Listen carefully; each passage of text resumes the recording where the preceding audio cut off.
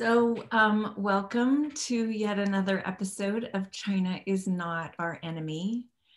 Thank you so much for your amazing engagement. Um, we're having successes, and you know, one of the the best news we have is we've been able to push the let's go to war with China folks out of getting um, high level appointments, and um, but we can we hear in the Biden administration that there's we haven't, you know, totally cleared the way, but um, Senator Kerry's in there really using his voice to say, we're not going to get to um, take care of the climate if we can't be cooperative with China. So we're, we're happy there's at least one voice in there. Um, and we're thrilled that you joined us today. I'm very excited for this conversation.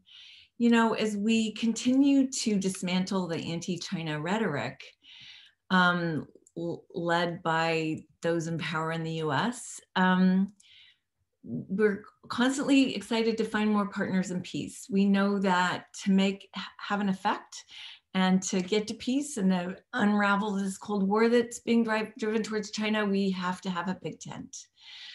So on this episode of China is Not Our Enemy, I'll be joined with Rob Kajiwara, who's the founder of Peace for Okinawa Coalition. and Okinawa has long um, relationships with the US and China. And um, so I think he's he's from there and will be able to tell us more about what that looks like. You know, as we've seen from the US war in Iraq, always these wars involve more than the country the war in Iraq has proved to destabilize the entire Middle East, and this growing Cold War on China is also going to affect the entire region. So, um, introducing you to Robert Kajiwara. He is a native Luchuan and president of Peace for Okinawa Coalition. He's a regular speaker at the United Nations and other places advocating for Indigenous rights and self determination, and has appeared in numerous media publications uh, BBC World, People's Daily, China, South China Morning Post.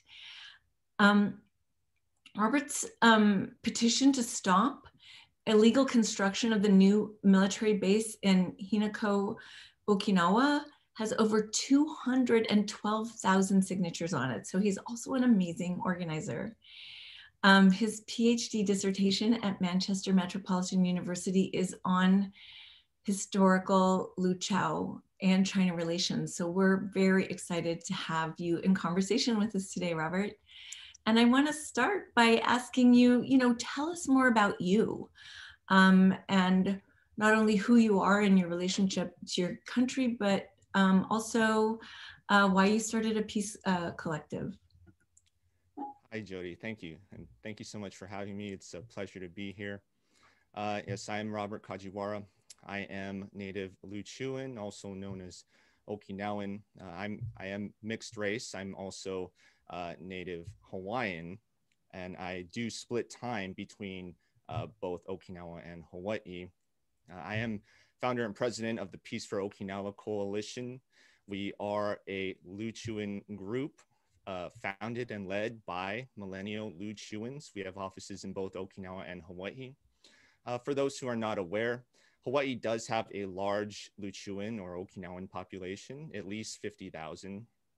Uh, we have also been working very closely for years now with Native Hawaiians. And other Pacific Islanders and, and various nations and people groups from around the world who are in a similar position as Luchu in terms of uh, advocating for demilitarization and peace and uh, trying to restore our de facto independence.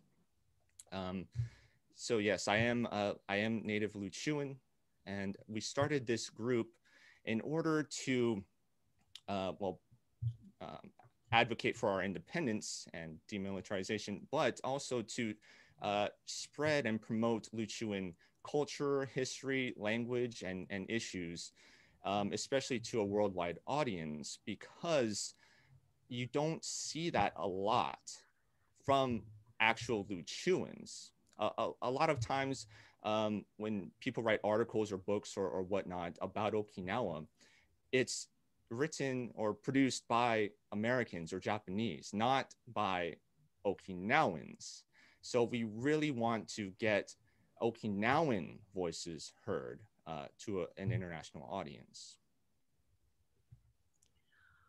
Wow, that's fascinating. I mean, painful, um, but that here you are, a people, and you're not your story is not being told by yourself. Um, yeah, I don't think enough of us realize that that um, and your work for self determination. So, as you look out at this growing war, Cold War on China, um, maybe take us into what is the relationship of Okinawans with China over probably what centuries, I would think. Yeah, so Luchu is geographically located very close to China. We share an ocean border. Um, a lot of Americans have this misconception that Luchu or Okinawa is, is geographically very close to Japan. That's not really true. Um, Okinawa is actually very close to China and the Philippines. Uh, the largest city, Naha, is actually closer to Manila, Pyongyang, Seoul, and many major Chinese cities such as Shanghai uh, than it is to Tokyo. So historically, Luchu has always had a very close and friendly relationship with China, with Korea and Southeast Asia as well, but especially with China. Um, and this dates back uh, thousands of years to informal relations, um, even before written records. Uh, however, in 1372, Luchu and China did start a formal uh, uh, relationship, bilateral relationship. Um, this was this is commonly known in English as a tributary relationship, and but this term is very problematic because when uh, Westerners hear that term tributary relationship, they immediately think that China oppressed Luchu, that, that China forced Luchuans to, to pay tribute and, and that China invaded and bullied Luchu.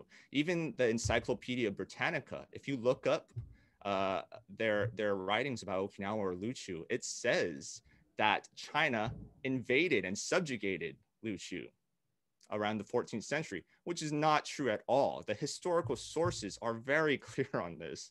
There is no evidence whatsoever of China ever having invaded or harmed Luchu in any way. So this relationship was actually uh, consensual and mutually beneficial.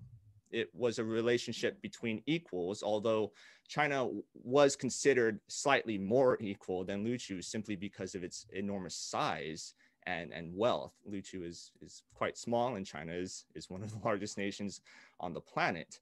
Uh, but um, China always treated Luchu very well. So the way it would work is Luchu would pay tribute to China.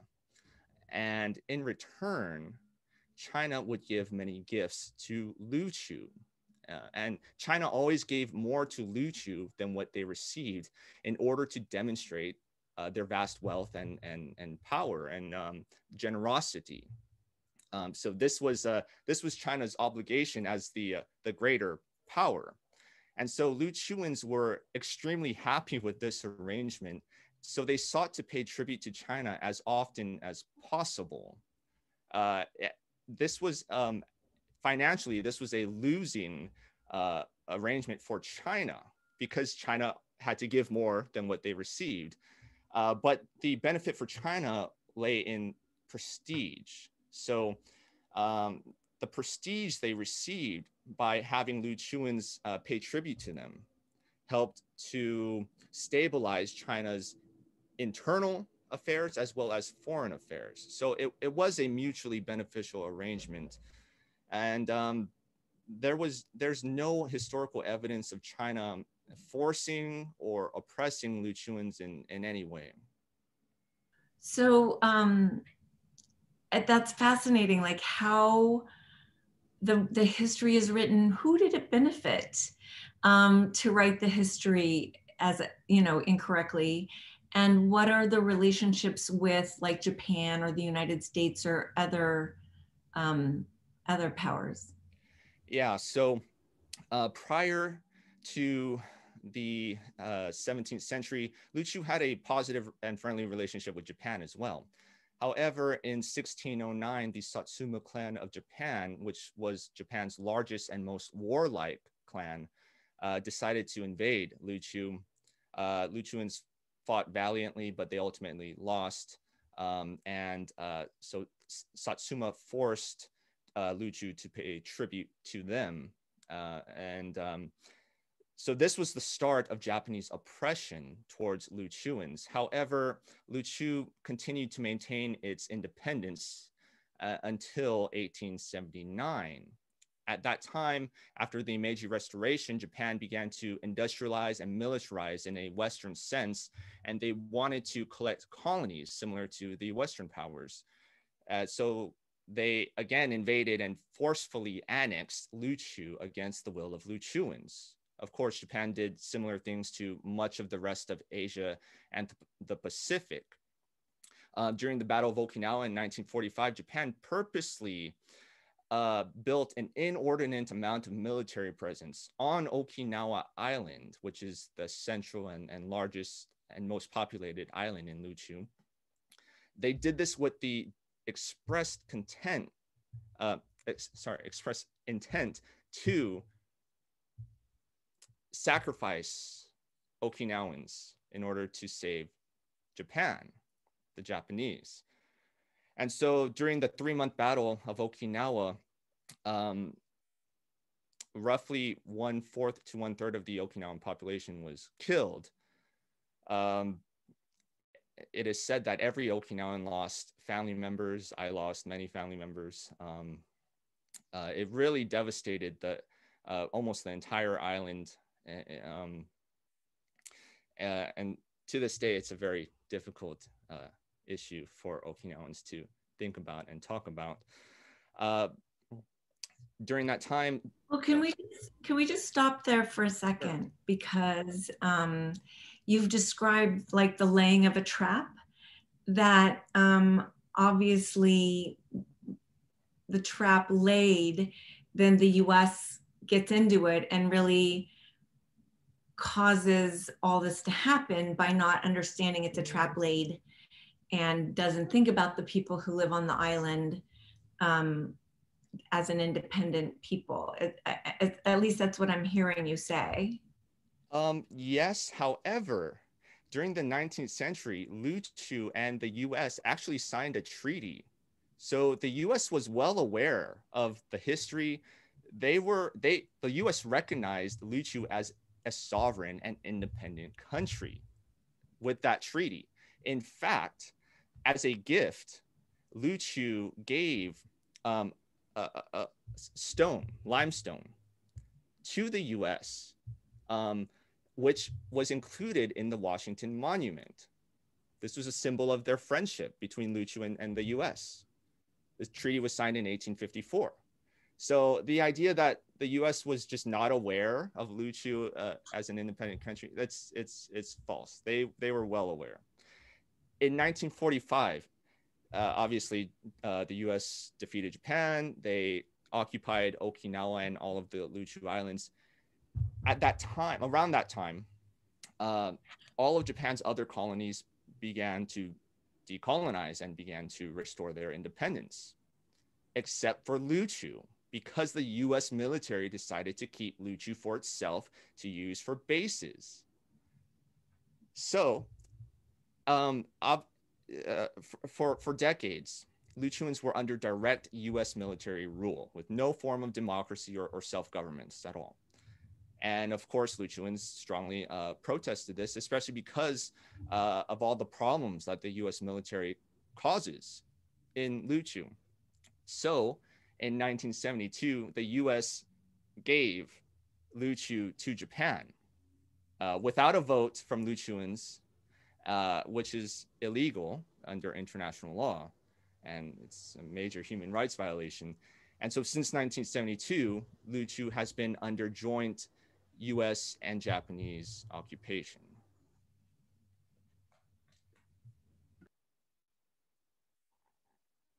You're muted. You're muted. Sorry. Um, I that makes me very sad. Um, so, uh, what was the relationship that continued with China through all this? So, there's the relationship with China, then Japan takes in. Is there any other relationship that continued with China in the time when it was occupied by Japan and then the US and now joint occupation? Yes. Um, however, you know, obviously, Luchu being under Japanese and U.S. occupation uh, with no form of self-government, the the formal bilateral relations between Luchu and China, obviously, uh, you know, have stopped for now anyway.